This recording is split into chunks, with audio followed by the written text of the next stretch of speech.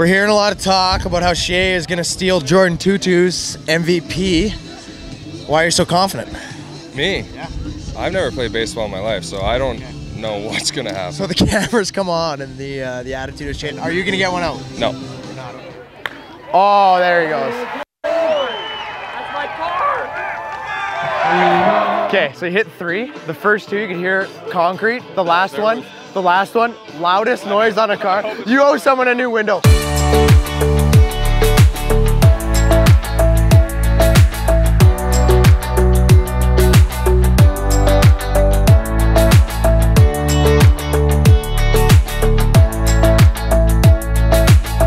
Hi, my name is Shay, and I fight for Joe.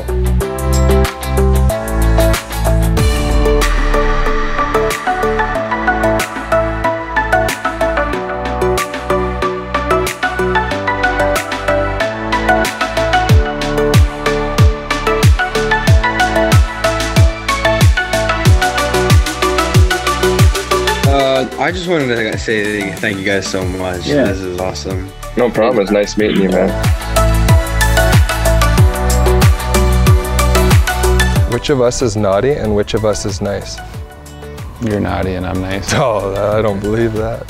Hey guys, just checking in here in the summer out here in Kelowna, uh, playing some golf uh, out here with a couple buddies. We're one hole in so far. Um, Gally had a lucky birdie. Um, you think you can keep that up, Gally?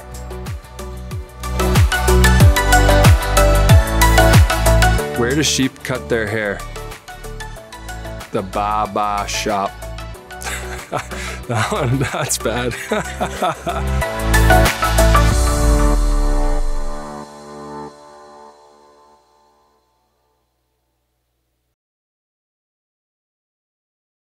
I ain't giving you a high five. no, no, no.